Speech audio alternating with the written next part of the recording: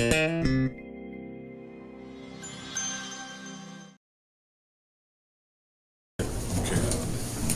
great team win, great road, road win against a very talented opponent. I thought our guys were locked in. I mean, I think they've been locked in the last three weeks, in my opinion. But I thought the guys had a tremendous amount of focus. Uh, did a great job paying attention to detail and scouting reports. Uh, just a good effort from top to bottom.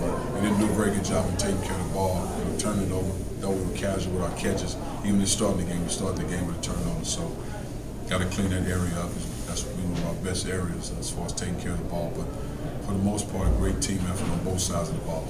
A lot to be excited about, I guess. Kind of where did it, in your opinion, what was the biggest difference? Kind of right after the that seemed like the guards were, were making their shots. Stokes was was aggressive and assertive, like you wanted to be. What was the what was the thing that kind of got you guys rolling early? Well, I think the biggest thing, when our, when our big guys are, are very aggressive, and my gauge is always with Jarnell and Jeronne, aggressive and assertive, whether they're making shots or not. As long as they're aggressive and attacking more rebound and putting pressure on the defense that way, I think we're in good shape. Now when our guards are making shots, I just think we're a tough team to go against because now you have the perimeter and the inside going hand in hand. Then when Jarnell shooting free throws the way he's shooting, we shoot 80% as a team. If we get fouled, which I think across the board, now you're talking about a lot of weapons.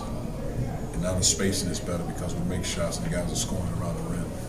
with with Jordan. I mean, scoring, but six of seven, three for three.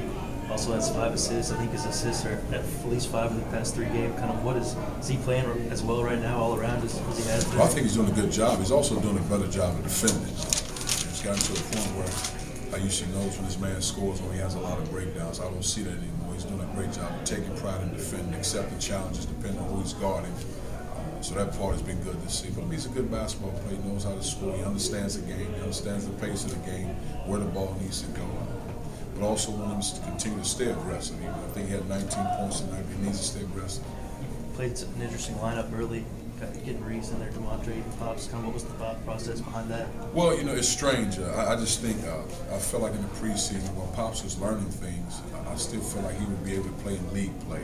Because what happens in league play, you know who your opponents are more so than in, in pre-conference play because you, you see them on film. There's so many unknowns when you, you're going against teams outside of scouting. But I think in league play, you're familiar with your opponent. You know when the coach is subs, who's going in the game, and some of those guys you recruited. So you got a feel.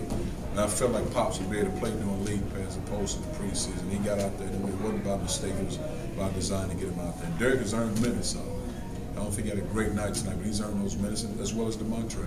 Is it something that they're just earning minutes ahead of ahead of AJ, or is that more of kind of because of their size, or what, what went into I, I think AJ more not so with, playing? with AJ in this case, just the experience of those guys. Then what happens, you get a flow, you get a rhythm, those guys out there, you want to roll with it. Uh, not necessarily anything that AJ didn't do, but just the experience of those guys. And I think between AJ and Derek, Derek has gotten a nod now as far as rebounding the way he's been playing.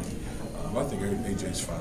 If you, if you have one good uh, three-point shooting night, you know, you could say, well, where did that come from? But it's like night after night now, you all are shooting the ball really well from three. What's, what's? Well, I, I think before the season, I mean, when, you- when you shoot over, when you shoot between 25, 25,000, 30,000 shots in the summer, two months, you have to get better at shooting. And then I thought we were a pretty good shooting team going into the season. But we didn't shoot as well as well early in the season in those preseason games and pre-conference games. But the guys are shooting the ball a lot better now. We're spending time with it in practice. Because this time of year, you, don't practice three hours, and it's you know it's two hours max, hour and a half. So you got to get the skill work in, individual time, so guys have opportunity to come in and work you. And then what, what shooting is really confidence and rhythm. you guys won